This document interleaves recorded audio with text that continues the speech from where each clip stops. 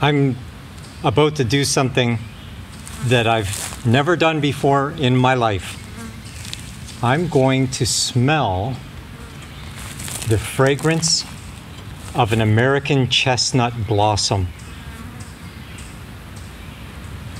Oh, it's beautiful. I've never done this before. This is the first time that one of my young chestnut trees is in blossom. Oh, it smells so beautiful. I have worked so hard to come to this day, and I didn't think that it was going to be happening so soon. This is actually ahead of schedule. I would have thought that it would have to be at least twice this size, maybe three times this size, before it would have blossoms. In fact, there's one just across the way here that's bigger than this, and it doesn't have blossoms yet.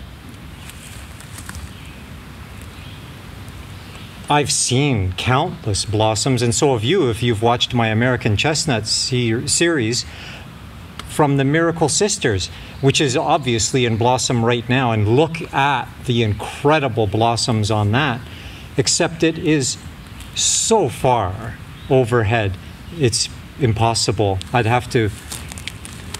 No, there's just no way I could do it. I don't want to have some heavy machinery back there for some platform to carry me up and damage the forest. So, anyways, wow, I finally got to smell chestnut blossoms.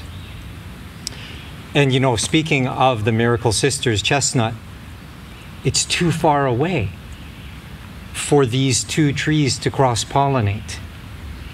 And there's no other chestnut yet in blossom. Now, as I just said, hopefully the one across the way right there will join this one next year. And then they will be able to cross pollinate and I'll have some nuts right here beside the house. And in a few more years, plenty more. There are so many young chestnuts here. But I just wanted to share this incredible moment with you. This wonderful, wonderful treat to be able to smell these blossoms, even if there won't be nuts this year. This is still so phenomenal, so beautiful. I forewent, if that's a word, my mosquito protection so I could smell it. So I got to get out of here because the mosquitoes are swarming.